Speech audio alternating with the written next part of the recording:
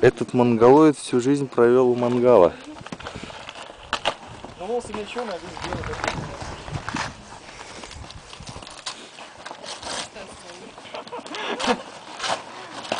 Слушай, а Витя, в какую сторону?